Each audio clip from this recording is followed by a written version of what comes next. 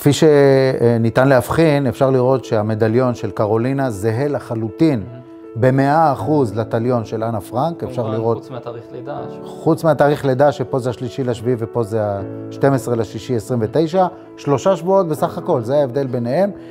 אז יש לנו את הכתבה שהתפרסמה על הבן דוד של אנה פרנק, בודי אליאס, שהוא פעם ראשונה מראה מדליון שהיה שייך לאנה פרנק, שנולדה דרך אגב ב-12 לשישי 29, ובעצם הוא טוען במאמר שלו שהוא שמר את המדליון הזה, אני לא יודע מאיזה סיבה, אבל uh, המדליון הזה זהה ב-100% למדליון שאנחנו מצאנו בסוביבור. השנה קיבלנו הזמנה uh, לבדוק את האזור שנחשד כצריף ההתפשטות של אנשים, התפשטות וגזיזת שיער. שנמצא במרחק של 40 מטרים דרומית לתאי הגזים. ולמעשה, במהלך החפירה, בחלק הצפוני שלו, היותר קרוב ליציאה לכיוון תאי הגזים, אה, נמצאו מספר פריטים קטנים. זה מתחיל מזה שיש רחש עם הפועלים. הפועלים הרי מדברים פולנית, וברגע שיש הרבה דיבורים, כנראה שמצאנו משהו אה, מיוחד. אני לא הייתי אה, סמוך אה, למציאה, אבל כמובן שברגע שאתה רואה שיש מדליון עם אותיות בעברית, מזל טוב, כמובן שבאים גם לשאול אותי מה זה. When Yoram Chaimi approached us, we found that there were several transports that indeed departed from Frankfurt am Main. Unfortunately, we were un unable to find a transport to Sobibor, but we did locate a transport from Frankfurt am Main to uh, Minsk in, in the fall of 1941.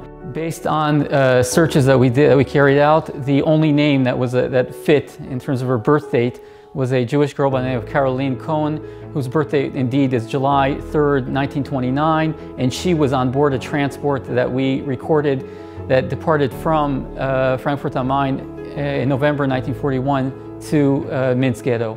ומפה בעצם מתחיל המסע בעזרת יד ושם, שהם בעצם מצליחים ליצור קשר עם, בן, אה, עם משפחת בן הדוד של אה, אנה פרנק, מכיוון שהם גילו שהוא בשנת 2009 התראיין לכתבה אה, בעיתון, ומופיע שם המדליון בדיוק כמו המדליון שמצאנו בסוביבור עם האות ה' ובצד השני מזל טוב, רק תאריך לידה אחר כמובן, התאריך לידה של אנה פרנק. The very fact that Yoram Chaimi was able to locate the gas chambers in Sobibor enable us to estimate much more correctly the, the number of the victims, how many Jews were killed uh, in this location. So I believe that this kind of knowledge can enlarge our understanding, can enlarge our uh, uh, insight into this chapter of history. חפירה ארכיאולוגית פה יש לה משמעות רצינית מאוד, מכיוון שאנחנו בחפירה, אנחנו נוגעים בשואה, אנחנו לא רק מדברים. החפצים האלה שאנחנו מוציאים, הזכוכיות, הבקבוקים, הפלטות שיניים, כל הדברים, גם הדברים הקשים ביותר, אלה הדברים שמספרים את הסיפור של המחנה. ולכן אנחנו חושבים שאולי בעקבות uh, הכתבה שאנחנו עושים היום, uh, עוד אנשים uh, שיש להם מדליונים כאלה ייצרו איתנו קשר על מנת שנוכל להמשיך את המחקר ואולי לגלות עוד הרבה דברים חדשים.